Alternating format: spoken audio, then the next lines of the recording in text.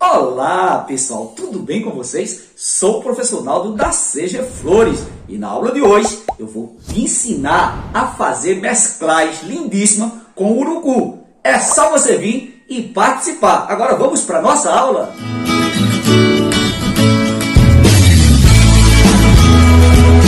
Agora vamos aprender a fazer misturas mescladas com urucum. Você vai se apaixonar por essas aulinhas maravilhosas que nós vamos estar fazendo aqui no nosso canal. E eu já quero deixar né, um convite para você. Se inscreva agora mesmo no nosso canal, ative o sininho e passe a participar e praticar essas aulas maravilhosas, aonde você vai aprender junto comigo mistura de tons que a natureza proporciona para nós, ok? Vamos lá? Então, começando, vou usar o EVA amarelo. Veja só, o EVA aqui está amarelinho.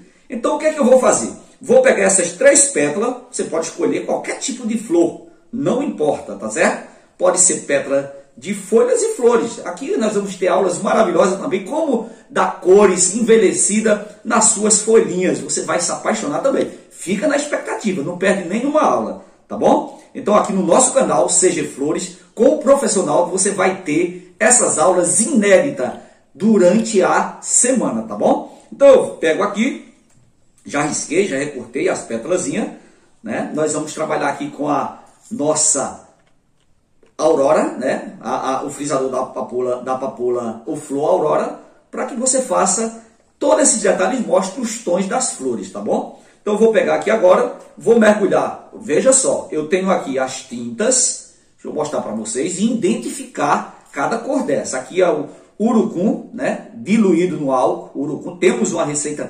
maravilhosa aqui no nosso canal. Você pode entrar e procurar receita, né? Como pintar com urucum. Você vai ver a aulinha preparando isso aqui, pintando, tá bom? Então aqui é feito né, a tinta preparada com urucum. Seja corante, em várias cidades tem um nome diferente. Aqui nós temos a tinta né, verde, que é misturada tinta de tecido com anilina. Né? E aqui nós temos a nossa tinta cor rosa, a cor rosa, que é misturada tinta de tecido com anilina também. E aqui tem o álcool para que a gente possa lavar nossas mãos para não ficar manchando. Geralmente eu gosto de usar o álcool no momento que eu vou fazer as minhas pinturas. Então eu vou pegar aqui as pétalazinhas né, amarela, vou mergulhar no urucum, olha só, vou mergulhar no urucum, olha, veja o tom do amarelo, observe, observe o tom do amarelo, né? Aí eu venho, vou mergulhar, você vai ver o tom que vai ficar, ó já começou a mudar. Olha, olha, olha a tonalidade que vai ficando. Olha, vou só a metade, só para você ter uma ideia. Olha, ok? Pronto. Agora eu venho aqui, aqui vai sujar, mas depois a gente limpa, não tem problema. Vou virar o outro lado. Olha só, vou virar o outro lado, vou mergulhando. Olha, o certo é abrir as pétalas. Sempre o EVA, você precisa no tecido não, mas o EVA você precisa abrir as pétalas. Olha, tudo juntinha e se tiver 30 pétalas aqui, eu pinto tudo de uma vez só. Pronto, mergulhei, ó. Vou igualar as pontinhas para ficar bem. Eu deixo, muitas vezes eu deixo secar juntinho. Então, quando as pontinhas ficam mais juntas, fica melhor. Tá bom? Então, aqui, ó. Juntei mais. Pronto, aqui já está no ponto. Então, já coloquei aqui no urucum. Olha só, vou tirar o excesso. Olha o tom que ficou. Tá dando para ver direitinho, né? Pronto. Depois que eu coloco no urucum, agora eu venho, veja só, vou colocar na tinta rosa.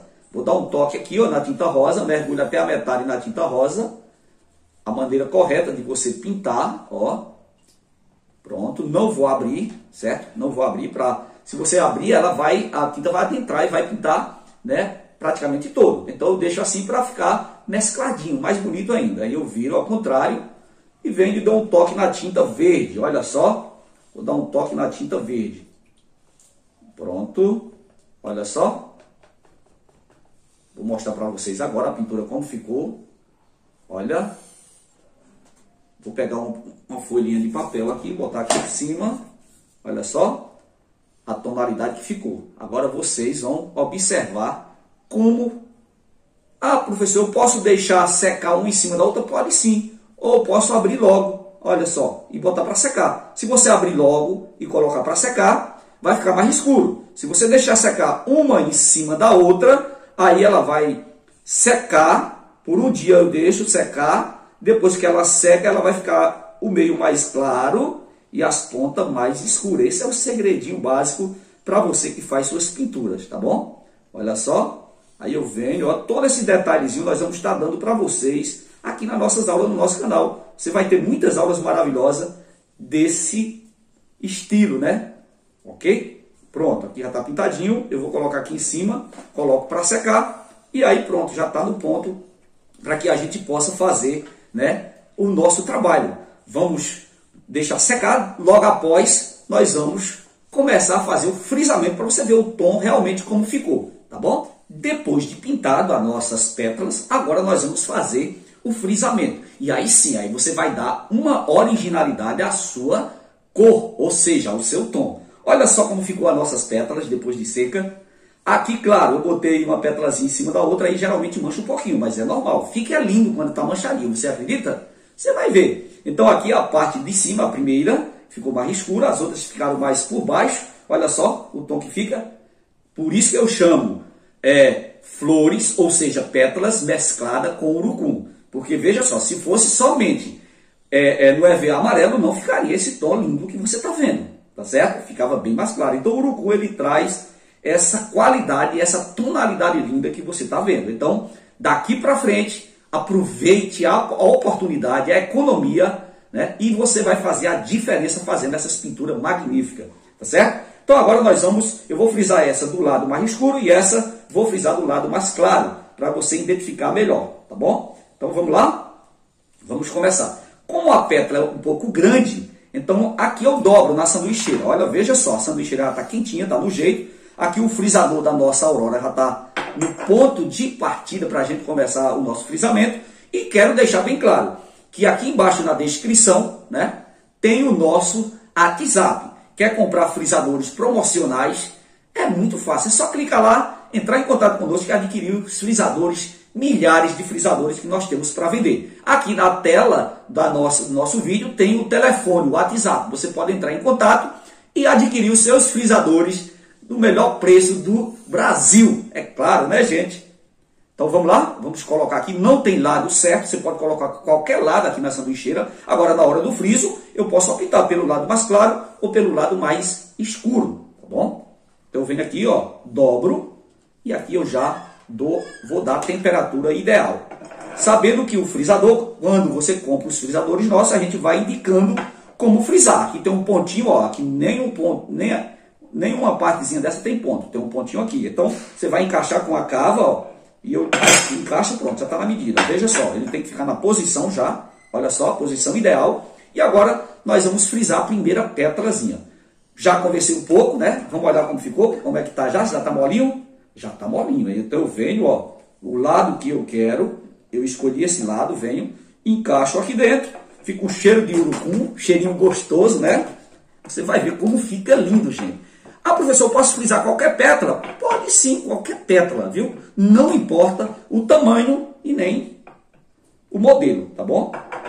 Então vamos ver aqui como ficou. Olha que coisa mais linda, gente. Olha que espetáculo. Pronto, vou frisar mais uma, tá bom? Mais uma. Eu estou sentado, geralmente o peso da gente é que dá o design da flor, o peso. Geralmente quando eu estou dando aula presencial para minhas alunas, eu digo, ó, gente, quanto mais você for pesada, né, se apoiando em cima da peça, mais linda ela fica. Eu penso, ah, professor, mas eu vou ter que comer muito para engordar, né? Tem pessoas, né? Mas, gente, o peso é que faz a diferença. Quando você se apoia em cima, é que dá o design, tá bom? Claro que não precisa essa força toda, tá bom? Então, quanto mais é, é, bem frisada, mais linda fica a pétala. Tá bom? Olha, olha a cor, que coisa, coisa mais linda ficou, gente. Rosa, né? É o, o, o corante, né? O, o, o urucum, né? Com o rosa e também com a tinta verde. Vamos lá, vamos ver como ficou, como é que tá a pétalazinha. Ah, tá molinha, tá no jeito. Essa vai ser mais clara um pouquinho. Eu venho, ó, coloco aqui dentro. Não pode perder muito tempo, senão ela, né? Aí agora eu vou me apoiar mais, ó. Vou apertar mais, ó. Botar mais, mais peso. Olha só, eu subindo me apertando um pouquinho. Eu vou botar meu corpo aqui, ó, só para você ver como fica, né? Pronto. Porque sentado é mais difícil você trabalhar. Então vem, ó. Olha, gente, que espetáculo. Olha a mais clara e a mais escura. Olha só. Cores magníficas. Você vai aprender muitas cores lindas aqui. certo? Pronto, aqui está a tonalidade, mas eu não vou ficar só aqui. Eu quero concluir o trabalho com vocês, para você ver o design né, da nossa linda flor. Então a gente vem aqui agora, vou mostrar para vocês aqui, ó, uma terceira pétalazinha mais escura. Então vamos, vamos montar uma florzinha linda aqui. Trouxe um miolinho, esse miolinho tem no nosso canal, está ensinando, esse miolinho é super natural, né? Bem natural mesmo. Vou pegar a cola e para concluir o nosso trabalho, a nossa aulinha de hoje, eu vou fazer o quê? Vou pegar a cola, ó, vou colocar aqui, ó, da parte da frente, coloco cola aqui, ó, na cava. Em cada cavinha dessa, eu coloco uma, um pouquinho de cola, ó, circulando. Ah, professor, que tonalidade é essa? Ah, é muito lindo. É o EVA amarelo, mergulha no urucum, né? Depois dá um toque na metade, na metade no rosa e outra parte no verde, na tinta verde. Olha só, fechei, ó. Tô fechando. Olha. Fazer uma florzinha bem rápida aqui para você ver, ó. Fechei a caixinha. Não, eu quero mais fechadinha. Você pode fechar mais, eu vou deixar ela semi-aberta. Venho agora, passo cola aqui, ó. Olha só, passo cola. E aqui eu venho com essa e encaixo essa, essa bordinha aqui, ó. Essa, essas dobras aqui dentro dessa, dessa parte do meio, ó. Tem uma cavinha. Então é o encaixe. Quando você faz esse encaixe, é mais, o trabalho fica mais perfeito. Aí, ó, encaixei, ó.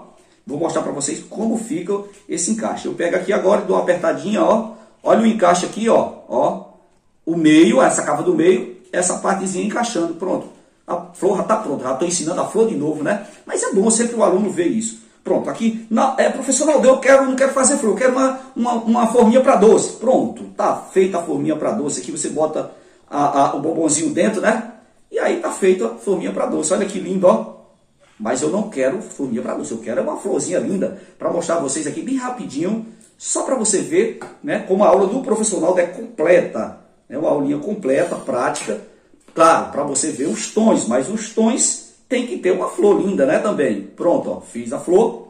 Passo cola agora nessas dobrinhas aqui, ó, um pinguinho de cola. Não pode jogar muita cola, que gasta muito e perde, né?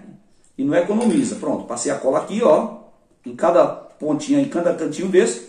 Aqui eu só faço isso, ó. Bem centralizo bem e coloco. E agora eu encaixo. Olha, eu vou encaixar essa dobra aqui no meio também. Aí vem, ó, encaixo. Olha, gente, que coisa mais linda. Olha só. Não tá linda? Olha que espetáculo de cor. O urucu, a tinta rosa e a tinta verde. Essa mesclagem deu certo e ficou um show de bola. Espero que você tenha gostado da nossa aula. E aqui está a nossa linda pintura mesclada com urucum. Você gostou? Se você gostou, clica no gostei, comenta, curte, compartilha. Um grande abraço para vocês e na próxima aula temos mais novidades.